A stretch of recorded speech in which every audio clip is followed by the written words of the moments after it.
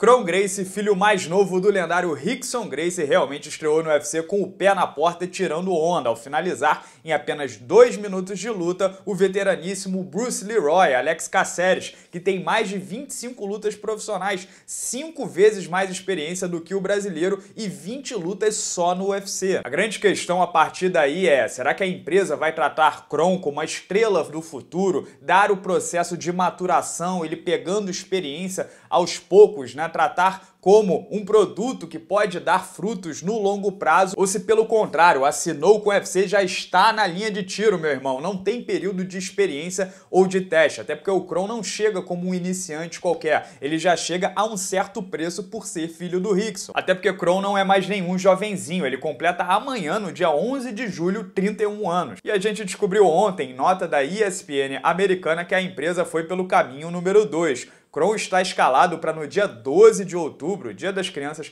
aqui no Brasil, enfrentar o velho de guerra Kevin Swanson num Fight Night que ainda não tem local definido. E sim, o nome é Kevin Luke Swanson. Cub é um apelido. Cub em inglês quer dizer filhote de urso. E a gente pode analisar esse casamento por dois pontos de vista completamente diferentes. O primeiro é o lado pró-Cub Swanson a diferença de experiência é muito grande. Cub Swanson tem 36 lutas profissionais e o Kron apenas 5. O Swanson já enfrentou todos os melhores pesos-penas do mundo. Já venceu, inclusive, grandes nomes do esporte, como o Dustin Poirier, o Jeremy Stephens, o Charles do Bronx e por aí vai. Swanson também tem mãos muito boas, são 11 vitórias por nocaute na carreira e enquanto essa luta estiver em pé, ele estará em vantagem. Tem também toda a questão das transições, das malandragens do octógono, que bem ou mal o cara conhece. Mas por outro lado, o Swanson não é um top 15 da categoria até 66 quilos há muito tempo. Ele não vence há quase quase três anos. São quatro derrotas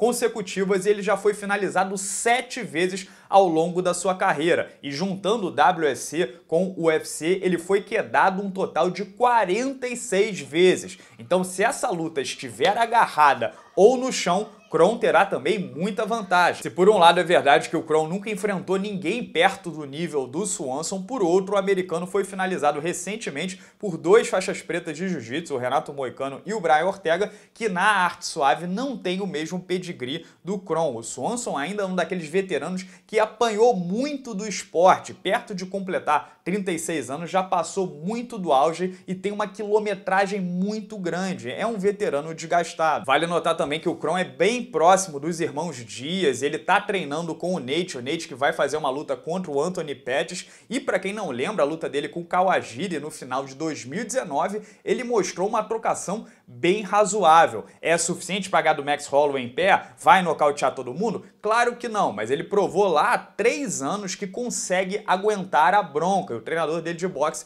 o Richard Perez, é um cara muito bom. Então, de repente, a gente já possa ver uma evolução do Kron nesse setor também. Tem também a questão do wrestling, que não é o ponto forte do Kron, assim como não é o ponto forte dos irmãos Dias, e a gente já viu alguns faixas pretas de jiu-jitsu ou até bons grapplers não conseguindo botar o Swanson para baixo e sofrendo em pé. Eu sinceramente fiquei matutando bastante sobre quem eu apostaria nesse tradicional casamento grappler versus striker, e eu não cheguei a uma resposta concreta. Em quem vocês apostariam? O recado que eu acho que fica então é, se você se considera um atleta em desenvolvimento, chegar no UFC talvez não seja o melhor caminho para o longo prazo da sua carreira, porque a gente vê muita gente também batendo e voltando, indo, tomando um choque de realidade, perdendo duas, três lutas e não conseguindo retomar a carreira, refazer todo o caminho até voltar para o UFC. A gente já viu alguns caras que conseguiram fazer isso, mas são exceções. Isso é um recado, inclusive, para o Rodolfo Vieira, multicampeão de jiu-jitsu, que já vai pegar um cara mais experiente do que ele no UFC Uruguai Montevideo e se tirar onda, meus amigos a gente já pode vê-lo na próxima rodada contra um equivalente ao Cub Swanson no peso médio. Por outro lado, tem aqueles também que, apesar da pouca experiência, quando o nível de exigência aumenta, eles crescem e brilham. Será que o Kron Grace vai ser um desses? Vocês botam fé no filho do Rickson? Comentem também livremente aqui embaixo no vídeo, se inscrevam no canal para não perder nenhuma resenha. Muito